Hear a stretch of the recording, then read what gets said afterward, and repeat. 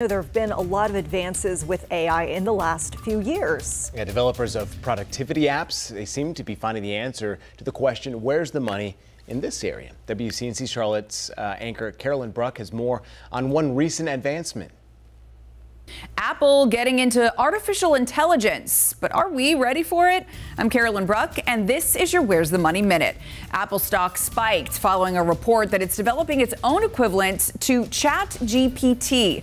ChatGPT is an artificial intelligence chatbot developed by a company called OpenAI that, when prompted, can do so many things. It can write essays, compose emails, create programming code, and so much more.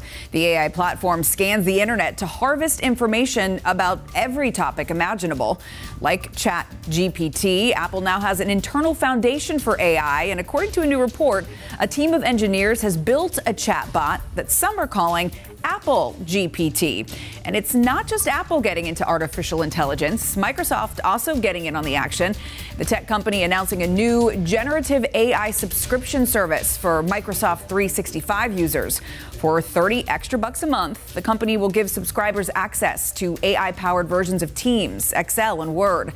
They say AI could rank your emails by importance, summarize meetings, and analyze spreadsheet data. For now, the tool is still in its testing phase. Now, as far as Apple's AI is concerned, it's not exactly venturing into new territory. The tech giant has been integrating AI into its software for a long time. The best example of this is Siri. Lover or hater, she's one of the pioneers of the artificial intelligence space. No word on when Apple's so called Apple GPT will be released.